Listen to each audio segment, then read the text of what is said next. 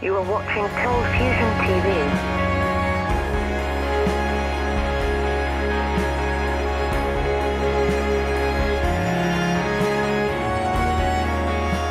This is the first video in a new series based on stories from within my book, New Thinking, which is basically the grand story of science and technology from the Industrial Revolution till today.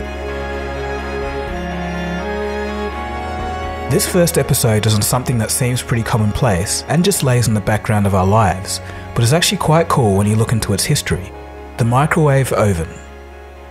Next time you heat up some leftovers in your microwave, think about this next story.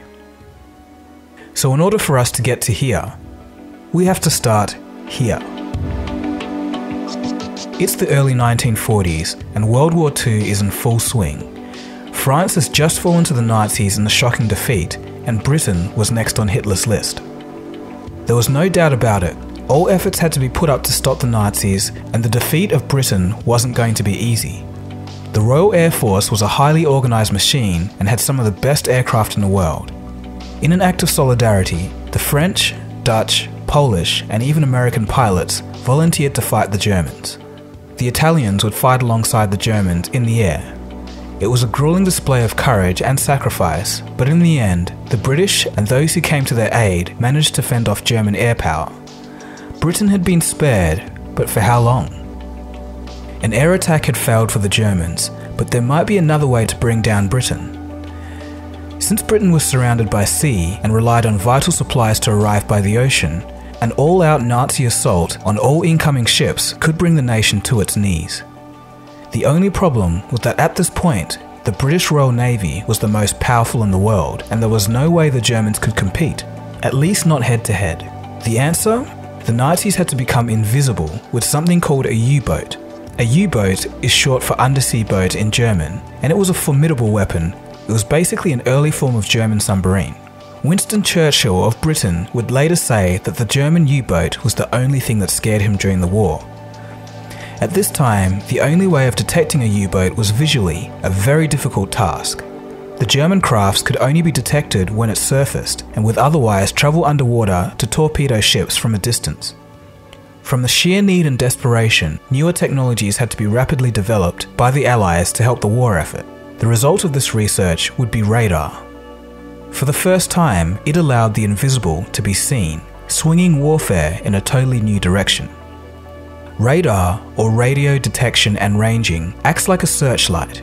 Here's how it works a short pulse of microwaves, which are sub optical electromagnetic frequencies, go out to a targeted object and are reflected back to the receiver, allowing the targeted object's distance and position to be known. Now the U boats could be seen coming, and the Germans no longer had the element of surprise on hand. It's said by many historians that the quick development of radar technology during the war tipped the balance in the scales of the Allies. Meanwhile, in the United States, a military company called Raytheon was the main producer of the critical radar equipment for the war effort. One of the components the company produced was something called a magnetron. It was the actual device that creates the microwaves. In early 1945, Percy Spencer, a Raytheon engineer, was working on improving some of the company's magnetrons. It had been a long day's work for Spencer, and his stomach began to grumble. It was time for a snack. When he reached into his pocket and pulled out his tasty treat, the engineer was surprised to find that what had once been a chocolate bar was now a completely melted mess within the wrapper. At that moment, he knew he had stumbled across something big.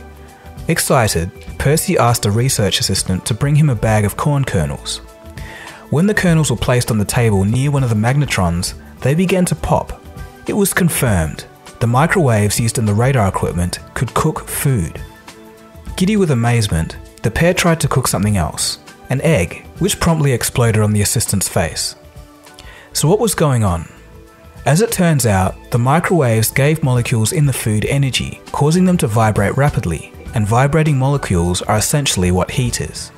When something is warmed up, all that's happening is the molecules that make up the material are just vibrating at a faster rate. Hence, microwaves could heat food in a totally new way that had never been previously possible by vibrating food molecules directly.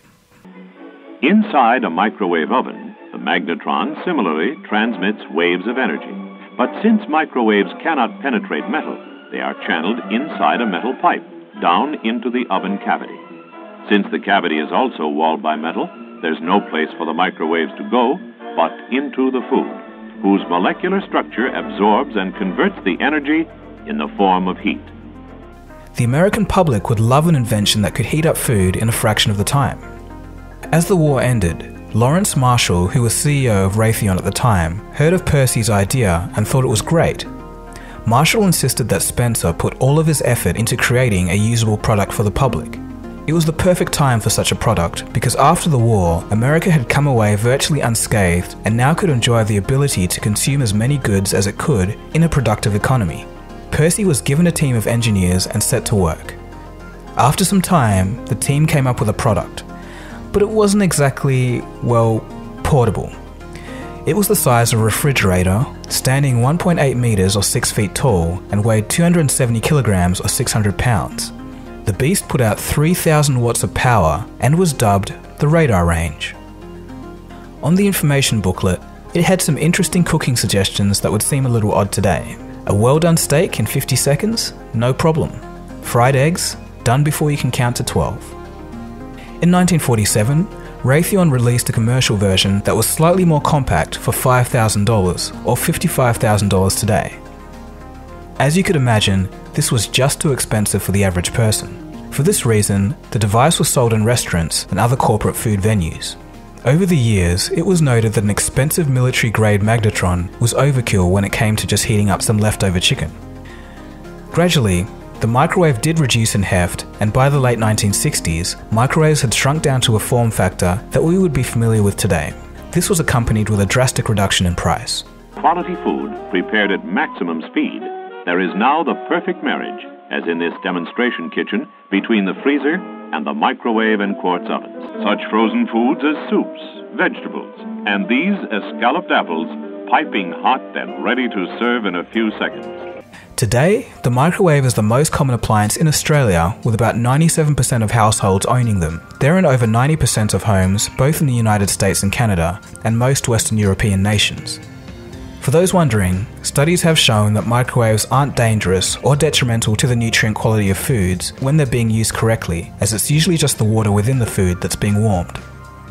So there you have it. From World War II to an accidental discovery to heating up our food for convenience. That's the intriguing and peculiar story of the microwave. Anyway, hope you enjoyed this first video of the series.